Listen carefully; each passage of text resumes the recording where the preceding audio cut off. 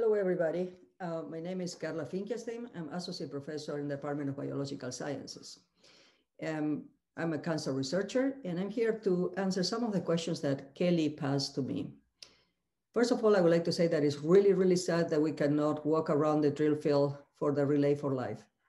Uh, every year, my lab has a tent next to the drill field, and we walk until like what, three in the morning, actually until the last one of us faint and decide that uh, needs to go home because it's, it's, it happens to always be very cold. So uh, this year is, is really a pity that we cannot do it, um, but I hope um, we can, we can um, kind of pass the passion that we have for, for, for curing this disease to all of you and, and, and, move the torch for next year so we can do it next year, okay? So um, Kelly contacted me a while ago and sent me some of the questions that you might wanna, um, for which you might wanna have some answers. And I'm gonna try to answer with the best of my knowledge. And, and I apologize if I don't answer everything in, in, in layman terms enough uh, for everybody to understanding. And, and of course, you can always um, reach me by email to finkelc at vt.edu for more questions, okay? So um, so the first question that Kelly sent me, and I had to say all the questions were very difficult, um, uh, very good questions, and I, I, needed really to think a little bit on how I will answer these questions. So the first one was, why do you choose to study research cancer? Um, I might disappoint you with this answer, but I had to say that uh, unlike most of the people that study this disease for personal reasons early on, um, mine was completely different. Um, I always knew that I would be a scientist since I was like this this little.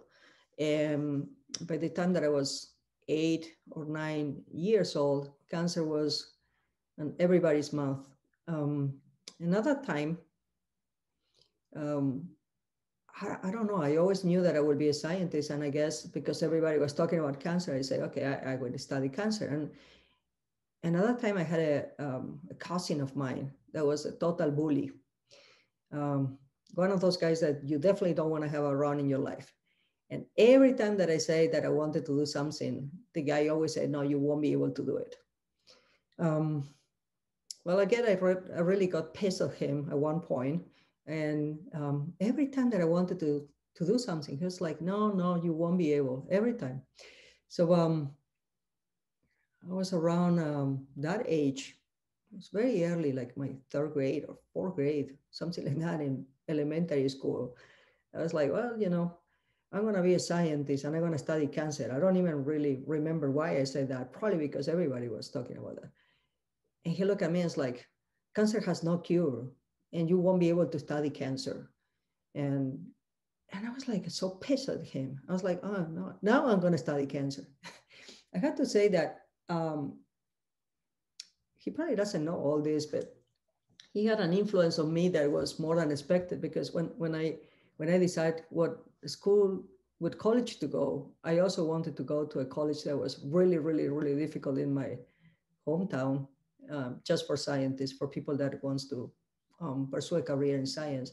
And I remember having a similar conversation with him and say, oh, I just want to go to this school. And it's like, oh, that school is impossible only 10% of people that go there graduate. So it's not for you. Obviously, I end up going and I graduate from that school. So um, I guess one day I should talk to him. Um, not my personal choice, but um, and tell him that he was really influential in my decision to study cancer. And I'm very, very actually happy that that's the field that I chose to study. Um, which lead us to the next question. What made you so passionate about cancer research? I, I love this disease for two reasons. First, because I think I can, I, I think from the scientific, scientific standpoint is like you're fighting the, the most difficult of all fights. You know, cancer is a genetic, is, is a, is a disease that has a, a genetic basis. I mean, you need to have certain mutations for this disease to take place. And and you are dealing with 30,000 genes. They all behave in very specific ways. And when they're mutated, they behave badly. and it's very hard to predict things. It's like um, fighting the, the most difficult fight of all. And I really love the challenge of that. Um, from a scientific standpoint, is tremendously rewarding all the things that we find that are accessory to cancer research, but has helped other disciplines. So I, I really feel very passionate about cancer. And I also, um, as a scientist, I think the ultimate goal is to help people. And with so many cases of cancer, cancer around the world, and I think whatever my research can contribute can can be more impactful, can be impactful in some way in someone's life. So um, I, you know, that's what I want. I just make sure that whatever I do in my research can help someone. So I guess that's why I'm so passionate. I don't have a perfect speech for that. Um, I apologize. Um, so let's go to the next question. Um, are there certain biological mechanisms that influence cancer treatment efficacy? So the efficacy of a cancer treatment depends on so many things, um, more than just mechanisms. Depends from, from um, depends from everything that goes from um, what type of cancer it is, um, the stage at which the cancer is detected, the therapeutics that the um, patient is uh, engaged into, to the mindset of the patient. I always think that um, a lot of the, um, I, I, really think that success on the therapeutics also depends a lot on the patient being willing to recover.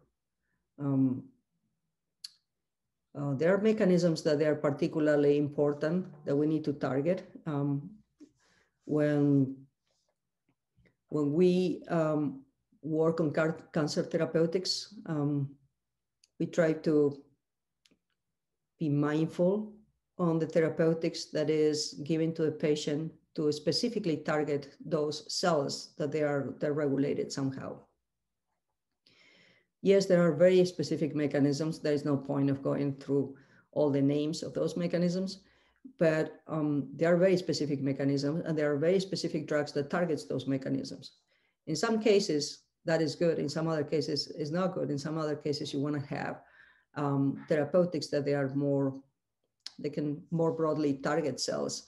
And the main reason is because um, the more specific the mechanism is, um, the, the more likely that the cell will, will develop some kind of resistance to that therapeutics. That's why most of the therapeutics are kind of infusions of, of, of, of different drugs together. Um, so you can, your goal is to really eradicate the cancer cell. So the idea is that with, with multiple therapeutics, um, with one therapeutic with multiple drugs, you can actually target for sure that cell and eliminate it. Um, what environmental risk factors increase the likelihood of developing breast cancer? Um, this is a really cool question. And probably what makes it cool is that it, it really hits in our on our research program. So um, in order for me to answer this question, let me give you um, a little bit of, of background on what we do. So in my lab, we study um, how um, cells sense environmental conditions and responds to those changes in environmental conditions. And in, in, in for us, the, the model of a study is uh, breast cancer.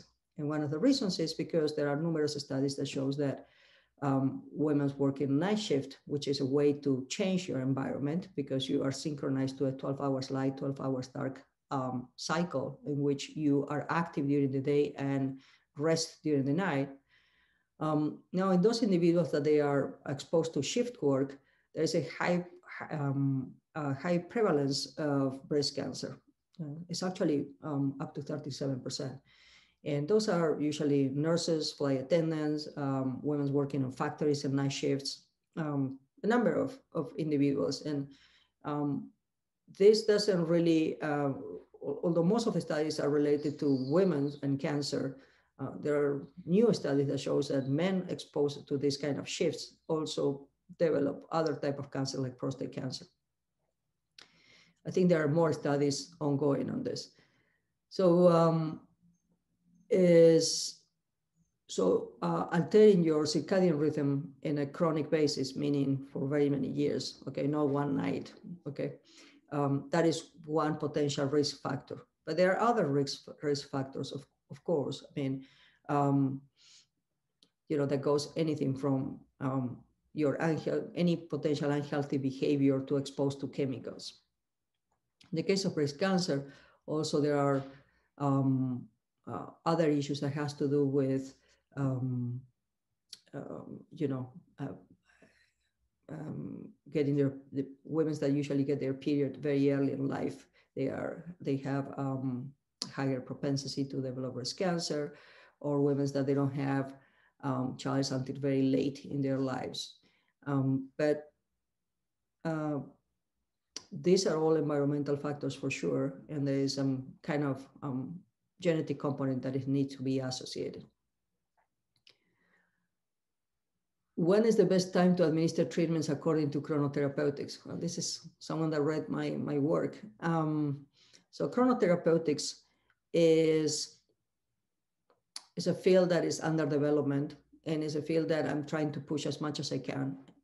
In this field, what we try to do is we try to we try to we try to explain um, clinicians and that it's not only about giving a drug to a patient, but finding the right time to give the drug to the patient. And this is with intention of, um, this is with intention of, of being more effective when we treat um, a patient for one particular disease, not necessarily cancer, for very many other diseases as well, and reduce the side effects of of these um, drugs. These drugs, in particular in cancer, are tremendously toxic.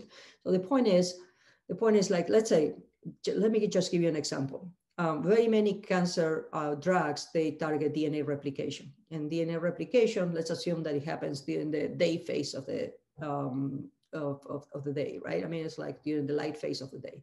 So let's say between 8 in the morning and 5 p.m.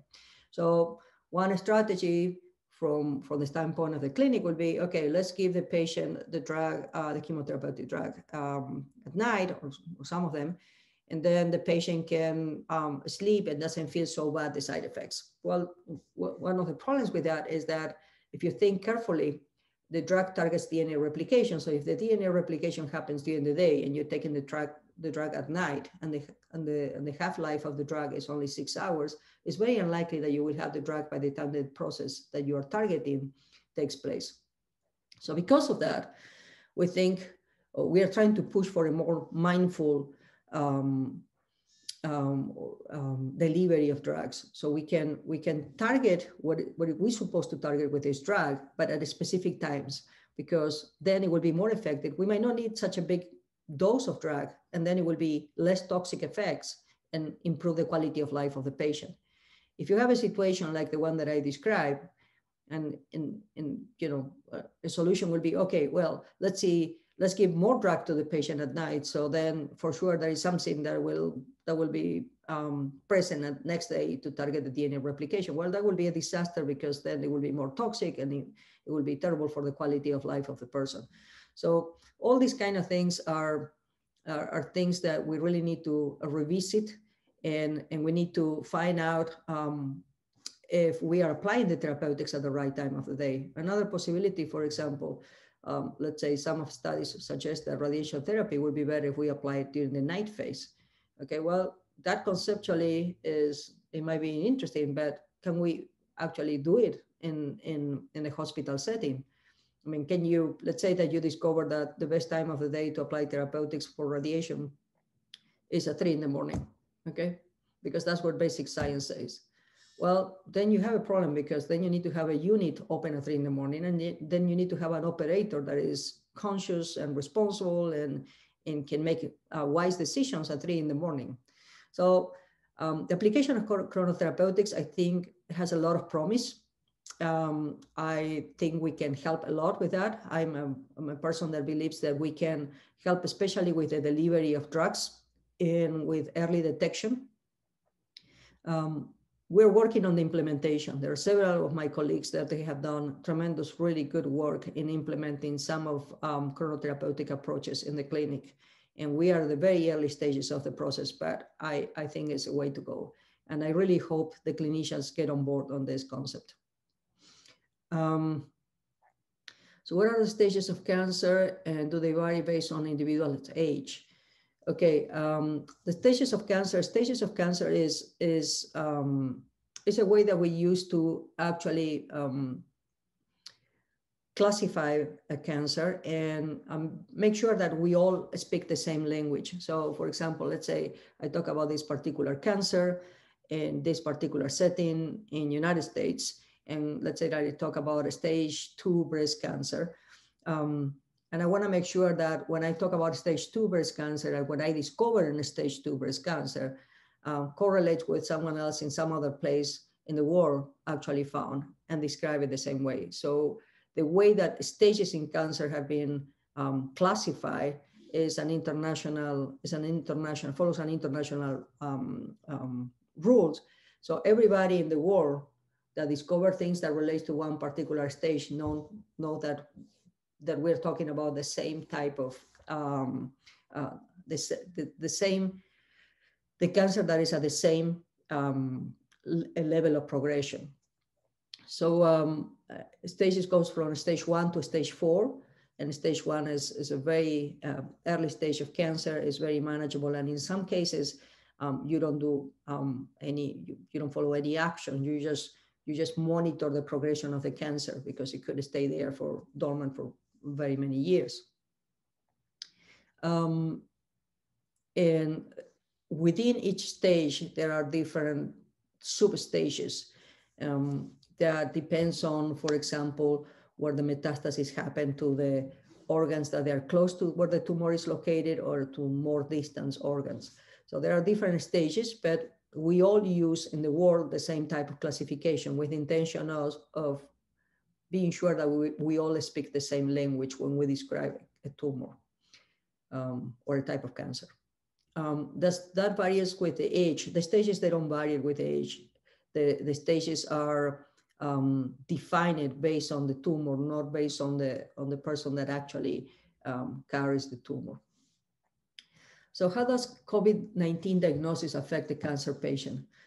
Well, I think this is a, this is a great question. Um, for very many reasons. One of the first reasons was that one of the early reasons is because um, very many um, cancer patients didn't know whether um, what would be the consequence of being, infected with COVID with SARS-CoV-2 and develop COVID-19. And the other one is because once we developed these very effective vaccines, they were not absolutely, um, it was not absolutely clear at the beginning whether um, patients should be exposed to this, should be um, taking the vaccine or not.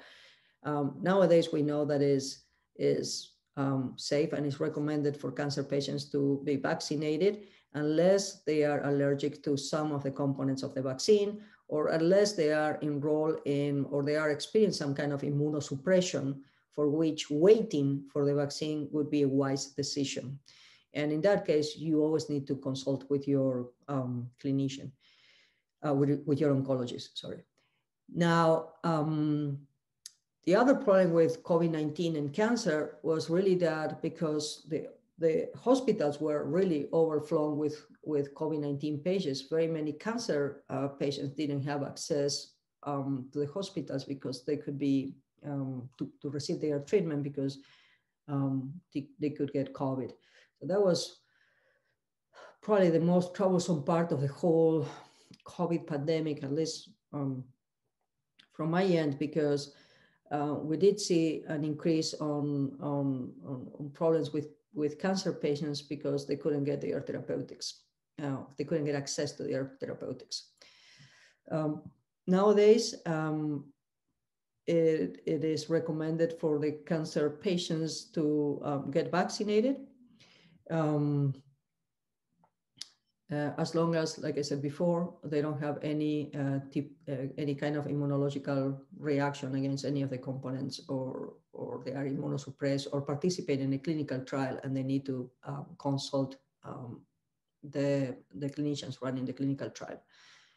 Um, I think I think a cancer patient getting COVID-19 um, has also a lot of psychological impact, um, which I think even if we do basic science like like myself, we shouldn't forget. I mean, um, we should treat cancer as a whole a disease for the whole body, not just a disease for just a disease that has to do with the tumor and a way to eradicate tumor cells. I think we should we should work with cancer patients to make sure that their mind and their body are in sync to fight together this, this disease.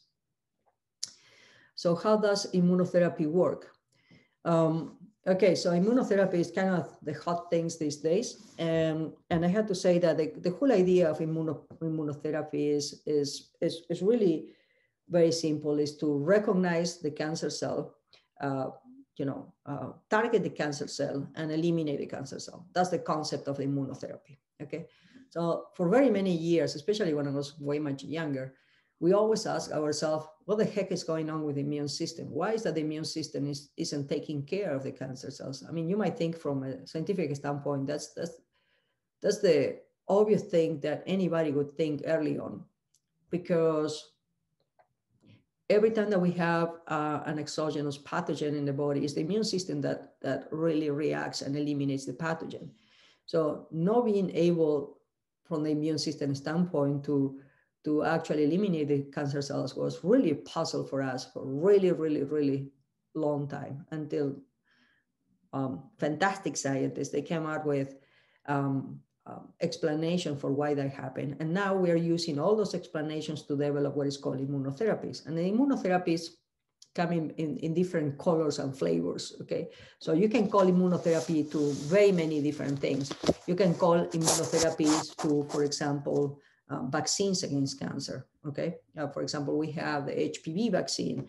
Uh, we have the vaccines against hepatitis B that also prevents um, uh, liver cancer. And in the first case, as the HPV is the uh, vaccine against the um, papilloma viruses that prevent cervix cancer. Um, we have what is called um, CAR-T um, uh, immunotherapy, in which um, the T cells from the patient are um, um, modified using genetic engineer to to and, and, and put back the patient so they can actually more effectively fight the cancer cells. Um, there are other things that has to do with um, targeted antibodies, antibodies that they carry therapeutics, they can, they can target one particular molecule in the cancer cell and they can eliminate that cancer cell. I mean, immunotherapy is, is a collection of things. And the goal of immunotherapy is not only to eliminate um, cancer cells, but also to create some kind of immune memory. And I think that's the really cool part because with if you have if you have an immune system that has an immune memory, which is basically what you're trying to do when you get vaccinated for for COVID, you you try to to eventually teach your immune system to recognize the pathogen later on and then eliminate it. Well, we want to do the same with cancer. If you can if you can create what is called an immune memory that um, will recognize um, you will have T cells or cells of the immune system that will recognize any bad cell in the future um, that might show up in your body um, as a relapse to your cancer, then it can be immediately eliminated. That will be the best therapeutics. So I'm, I'm very hopeful about um, immunotherapy. Um, I, I, think the progress has been tremendous and the findings are very promising. Nowadays it's broadly applied. There are, I think, something like 20 different cancers where immunotherapy is given to a patient. And, and um, but immunotherapy doesn't doesn't work for everybody. Uh, there are some particular genetic conditions for which immunotherapy can be applied. Nevertheless, is is a fantastic um, tool that we have on hand. Okay, um, let me go to the next question.